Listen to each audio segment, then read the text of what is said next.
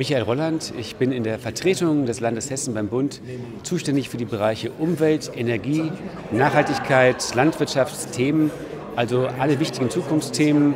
Wir sind eine Botschaft des Landes Hessen in der Bundeshauptstadt, das heißt, wir vertreten die Interessen, wir sind Lobbyist für Hessen in Berlin.